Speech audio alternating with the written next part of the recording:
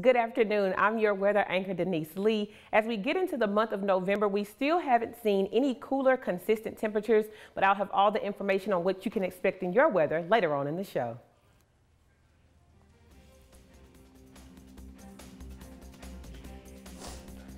Students and community members are signing an online petition in an attempt to bring a much needed crosswalk to a busy intersection. The MSU men's basketball team had their first home game. How did they do? Find out about these stories and more coming up. Your news, keeping our state informed. Broadcasting from the home of the Bulldogs. Now, from the University Television Studios of Mississippi State University, this is Take 30 News. Good afternoon. I'm Madison Bryan. Two suspects in a local murder case could now face the death penalty. And I'm Brittany Miller. Our top story this afternoon protests against the election results and Donald Trump are happening around the U.S. The results from the presidential election are in, and not everyone is satisfied with the results. Since President elect Donald Trump was elected the 45th President of the United States, protests have taken place in several cities across the U.S. Over a thousand people in Atlanta held a protest in Atlanta's historic old Fourth Ward Park before marching through the streets burning the American flag in front of the Georgia Capitol. Trump's home state of New York entered into its seventh day of protest. New Yorkers voiced fear of what changes will take place in the LGBTQ community and with immigrants. People yelled chants like, Not my president, and held signs while marching through the streets. While some are expressing their feelings about Trump getting ready to step into the role of president, others are talking about how happy they are to have President Obama out of the White House. A Henderson Ward Stewart elementary art teacher allegedly used her Facebook to post a controversial status that has some calling for her resignation. Connie Shannon Barber is accused of posting a racist status and violating the school's social media policy. The police states that two that no employee should use a social networking website to post anything that would be inappropriate and that could result in the disruption of a classroom activity. An online petition was created for the removal from her from the Starkville School District. The petition currently has 51 signatures. Two of the five suspects that are being held for the murder of MSU student Joseph Tillman are now facing new charges. Cyboris Pippins and Jalen Barker could face the death penalty if they are convicted of capital murder charges. The three other suspects are still facing accessory murder charges. We will have more on this case as it develops. Michigan police officers Michael Peters has resigned after being suspended for flying the Confederate flag at a local Love Trump hate rally in Traverse City. Marshall Collins, a black male attending the anti-Trump rally, saw Peters pulled up, revving his engine with a Confederate flag waving from the back of his truck. Collins also reported seeing the officer Peters drinking a beer. The officer was suspended without pay, but turned in his letter of resignation Tuesday morning. In his letter, Officer Peters said that he was sorry for the stain he put on the city. On Saturday morning, a car crashed into the wall and window at a Waffle House in Jackson, Mississippi. The crash left several people and the driver injured, and they were transferred to the local hospital. Waffle House restaurant officials say that they hope to reopen Sunday or Monday at the latest. There have been no deaths reported from this incident. On November 16th, Mississippi State University, the Mississippi Court of Appeals will hear criminal and civil appeals at 1.30 p.m. Oral arguments will be scheduled on campus in the Hunter Henry Center. There will be a three-judge panel to host the court. This event is part of the Court on the Railroad Educational Program for the students and the public. The purpose of the event is to educate students and the public about the appeals process. Judges will be able to answer questions about how the court operates. This can benefit students interested in wanting a career in law and how the court system works. In Mississippi State University's master plan, the university expresses the desire to become more of a walking and biking campus. During the summer, construction on Highway 12 widened the road and created a new crosswalk for, for pedestrians to have easier access to the MSU campus. More reflectors and signs with lights were added to crosswalks around and at the entrances of campus. Despite these positive changes, a drunk driver hit Emily Case, a freshman political science major at Mississippi State University, while she was walking from campus to the Helix apartments. Many people have voiced their frustrations and stated that they believe this accident could have been avoided. Over 481 people have signed an online petition to put a crosswalk at the Hardy and Blackjack intersection. Several comments on the page describe situations in which students narrowly missed getting hit by a car on the way to class. Take 30 News will continue to investigate this story and update you as more, as more information is confirmed.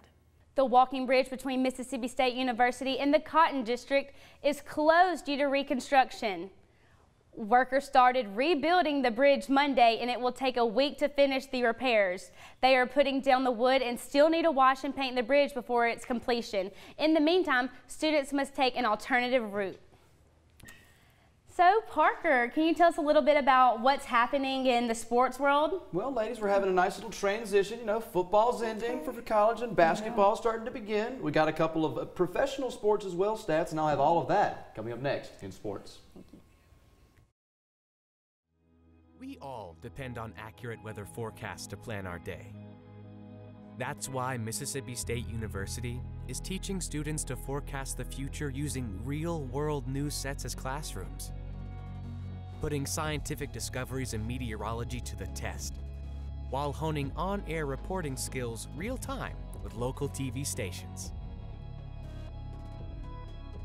And we do it so well that at any given moment, three out of four weather forecasts across the nation are being delivered by MSU trained meteorologists. Who are helping people make crucial decisions that impact their safety working to ensure business continuity, and in many cases, saving lives. Predicting the future? That's what we're preparing for every single day, so that you can prepare for your day. Maybe you're like me and are looking for ways to pay for school here at Mississippi State. You can apply for grants, loans, and work study through the free application of federal student aid at www.fafsa.ed.gov. You only have to apply once per year. Now remember, grants, free money. But loans, you'll be on the hook for that later. The earlier you apply, the better. Mississippi residents can find state scholarships and financial aid at www.riseupms.com. Fill out the MSU General Scholarship application every spring in your MyState portal for the upcoming year. Look for departmental scholarships as well. Looking for internships, co-ops, part-time on-campus or off-campus jobs? Visit careers.msstate.edu.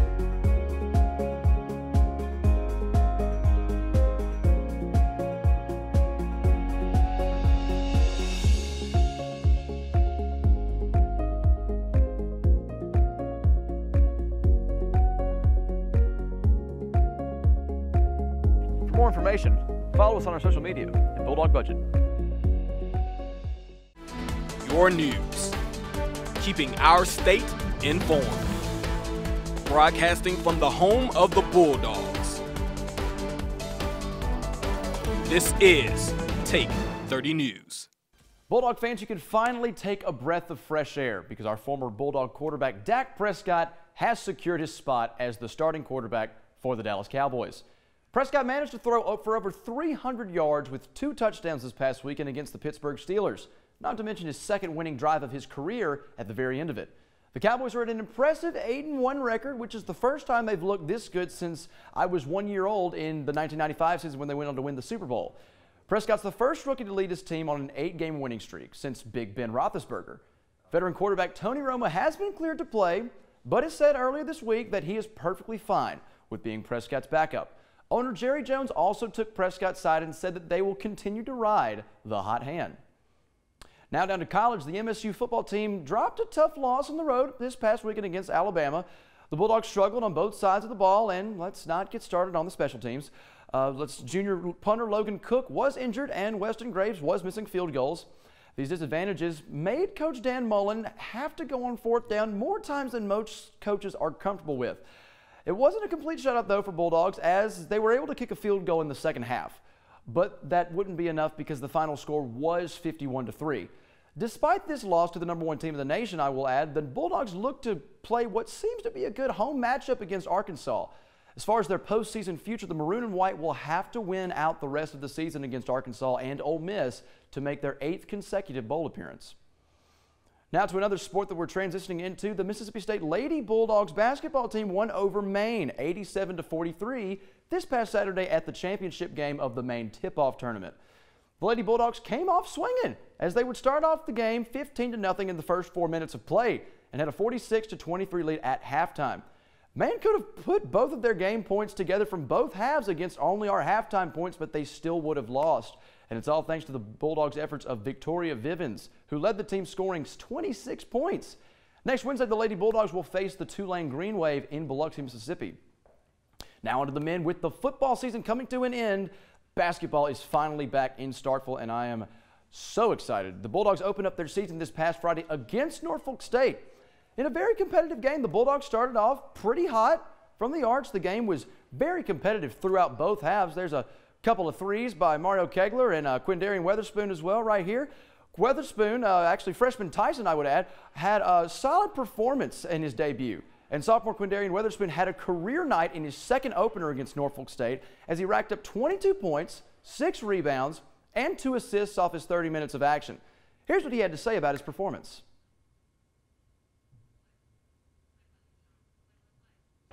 Came in with the mindset just trying to get a win. I wasn't trying to do nothing spectacular, nothing like that. I just wanted to get a win. I was going to do whatever it takes to um, help my team win. The Bulldogs are going to face Central Florida tomorrow at 4 on ESPN2. Now let's go over to volleyball. It's getting close to that time when MSU Fall Sports will play their longtime rival, and we know it, Ole Miss. To start off, it will be the Lady Bulldogs volleyball team tonight at 7 p.m. at Newell Grissom. MSU looks to better their SEC record with a win against the rival school after winning both meetings last season against Ole Miss. We're going to take a little step back, back to college football, and we've all heard the term and the phrase, any given Sunday. But what about any given Saturday? Because college football's rankings went haywire this past weekend. Let's start it off with the fact that the number two team, the number three team, and the number four team, that's Michigan, Clemson, and Washington, all lost which probably made a great day for, for the analysts at work uh, for the college football playoff. Uh, to go on with that, eight of the top 25 teams lost, and five of those, including those that I just mentioned, were in the top 10. With only a few weeks left in the college football season, those three spots in the playoffs, because we're not even going to count Alabama, could be within reach for several big name programs. Now to some local news. On Monday, a couple of days ago, MSU students partnered up with the Special Olympics of Mississippi in the 2016 Unified Egg Bowl. This is the second year that this thing has been run. The event was a flag football game where students from the university were paired up with students of special needs.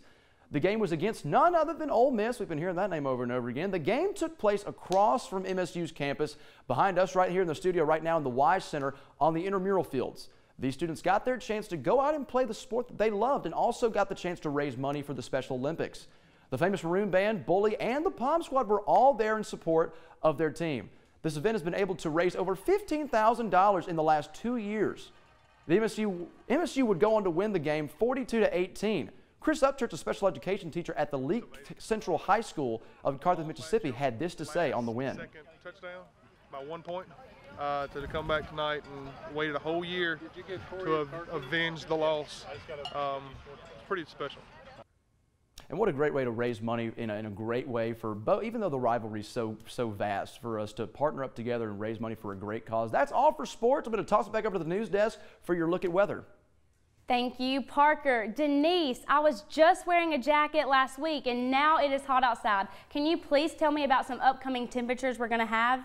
Madison, all that I can say is that these inconsistent temperatures are not going to go anywhere anytime soon, but I'll have more on that later on in the show.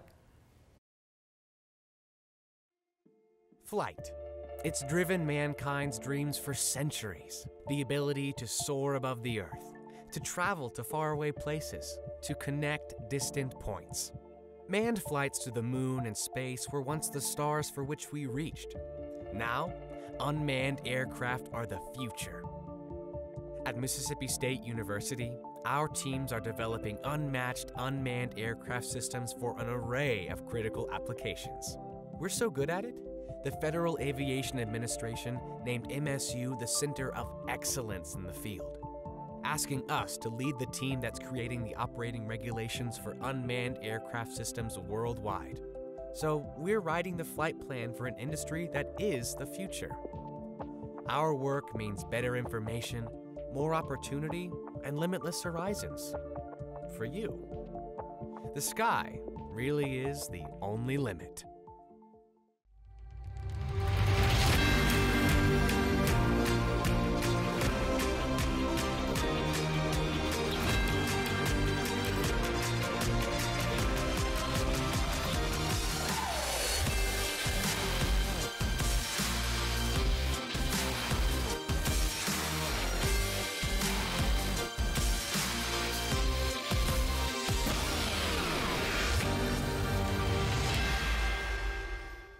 Good afternoon. Welcome back to Take 30 News. I'm Madison Bryan. Today we have with us John Brazil, Construction Manager for Starkville Habitat for Humanity. So, John, can you explain to me a little bit about what y'all do at Habitat for Humanity?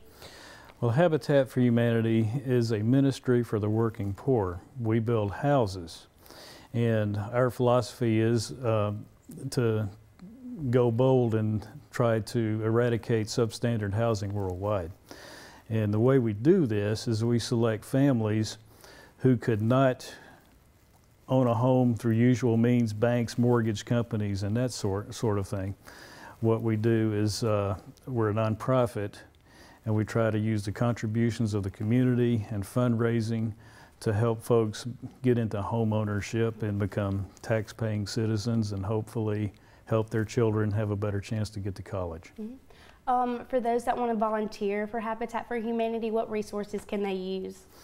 Well, here in Starkville, we primarily use Mississippi State University students, and we work closely with the Maroon Volunteer Center on campus, and we have a great relationship with them. And uh, I typically submit a build calendar uh, of all of my dates that I'll be there and students can go online at the Maroon Volunteer Center and sign up, and we have a great response from that. Mm -hmm.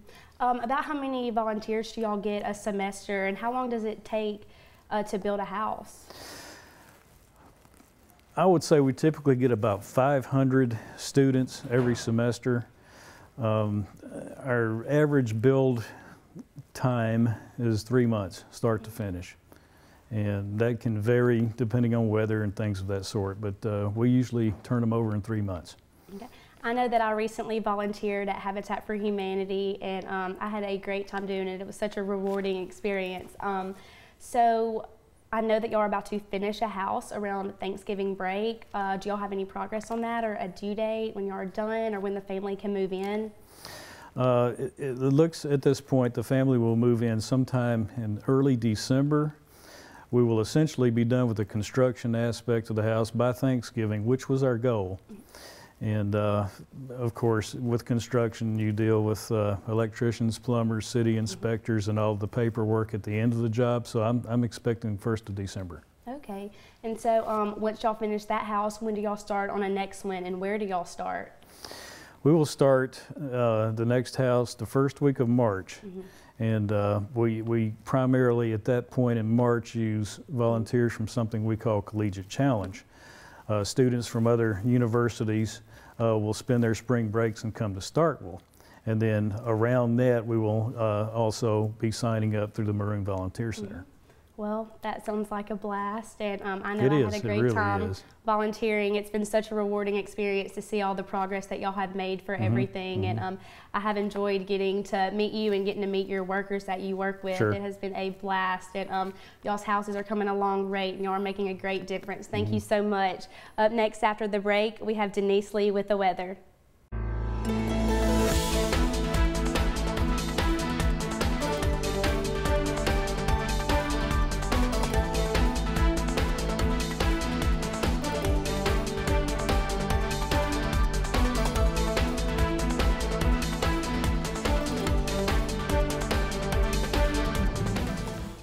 Afternoon and welcome back. I'm your weather anchor, Denise Lee. I'm here to bring you your weather for the upcoming week, and I want you all to notice that the temperature today was 79 degrees. Winds are calm right now in Starkville, but this is not reflective of the weather temperatures we have been experiencing. Now, if you're anything like me, I've tried to put my summer clothes away and break out my winter wardrobe, and in the morning time, that's appropriate. We see temperatures of 38, around West Point, Aberdeen. Temperatures are around 38 in Columbus as well. But if you notice around the afternoons on some days, the temperatures more than double. And you can see right now that in Aberdeen, West Point, Columbus, and Starkville, the temperatures are in the upper 70s. Now that is not jacket weather at all. Now if you look at our temperature trend on Thursday and Friday, we have a high of 79 and 80. A cold front is going to come through and bring us down to highs of 56, 57, 61, and 64 going into the beginning of your next work week. Uh, the predictor will show us that the cold front that is coming through will bring rain. Rain usually means cooler temperatures. So we'll be getting some of that rain going into the evening on Friday. Around 8 p.m., the rain will come through and it will lower the temperatures down a bit, but they're still not consistent. If you look at your seven day forecast on Wednesday and Thursday, the high is 79. Friday, the high is going to be 80. On Saturday and Sunday, we have 57 and 56. Going into the beginning of your work week, we have temperatures of 61 and 64 in the high. I want you to note that on Friday, we will be experiencing some rain, a 50% chance later on in the afternoon, and then those cooler temperatures at night. But Madison and Brittany, look at this weather. We have highs in 70s and 80s, and then it drops off Friday with a cold front, bringing us highs of 50s. What are we going to do with this weather? I don't know because like last night I needed a jacket. Now this morning it's right. just hot. Like right. It's so hot. So. It is. Pay attention and look out for weather. That's all I have. These ladies will be back with more on news. One, two, three, cigarettes, four, five, six, packs, 10, 15, 20 milligrams of nicotine per day. Yellow, teeth, bad breath, disease, cancer, repeat until bam.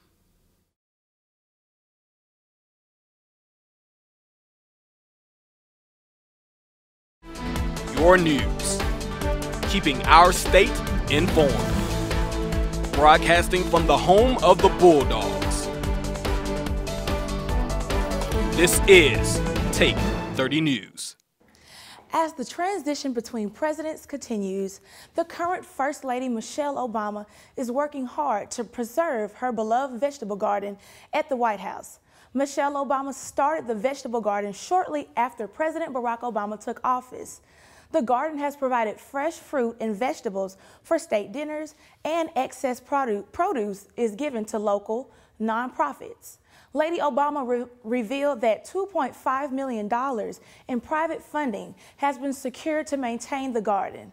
The National Park Service will continue the upkeep of the White House garden. There were a lot of intense emotions after Election Day. So 18-year-old Alejandro Andre from Virginia Commonwealth University decided to spread some love. Alejandro held up a free hug sign for eight hours. He stood in the cold with a smile on his face. He stated that one guy asked if he gave hugs to Republicans, and he said, absolutely. Another girl gave him hot chocolate and thanked him for what he was doing. Last Thursday on November 10th at 7 p.m., Mississippi State University's Panhellenic Council put on a Greek sync stroll off for their annual Greek Week event. Teams got to arrive early to practice before going on stage. The stroll off was held in the Newell Grissom building. Um, about four days full of activities that give back to the community, uh, philanthropy, community service, and then we do some fun things like we did tonight to give back to the students here at Mississippi State. MSU students could buy a ticket online for $1 or at the door for $3. Each fraternity and sorority organizations were in teams, and they also teamed up with National Panhellenic Council. Each team created an eight-minute dance with steps incorporated. The teams got to practice with each other for a few weeks before taking the stage. The first couple of hundred students that to arrive at the event received a free Greek Week t-shirt. There will be another Greek Week stroll off next semester. While waiting on the judge's decision, MSU students shined their lights and sang, Don't Stop Believing. This year, Team 2 was proud to take home the win. The third annual Feminist Film Festival at Mississippi State University will be hosted by the Gender Studies. All of the movies will begin at 6 p.m. on the 13th. The showing will be in room 330 at the Union, and for all the other dates, they will be posted in Allen 13. The films showing include Pray the Devil Back to Hell, Winter's Bone, Iron Jaw Angels, and Zootopia. Bulldogs on the Move will take place in the auxiliary gym at the Joe Frank Sanderson Center Friday from 12:15 p.m. to 1:30 p.m. Starkville and surrounding area schools will bring students with special needs to participate in various activities organized by MSU students. The activities will include basketball, volleyball, kickball, relay races, tag, and obstacle courses. Volunteers are needed to help with this event. For more information about this event or to volunteer, please contact Nick Elder at 985 768 6548. All right, so for our sky watchers, enjoy the view of the special supermoon early Monday morning before sunrise. The reason it is called a supermoon is because it is extra close to the Earth, which makes it look larger than it normally does. Monday was the first time in 69 years that the moon has appeared that big, bright, and our scar night. There will not be another supermoon until November 2034. So we have, um, thank you so much for that. So Madison, um, have you attended any of those events that had happened? Yes, I have. Mm. I actually attended the Greek Sync Chef Show, and it was great. I had mm. the best time ever. Um, I know for uh, Panhellenic, it was a big deal for mm. them to attend, and it was a great success. All right. Well, thank you so much for watching. I'm Brittany Miller. And I'm Madison Bryan. Thank you for watching.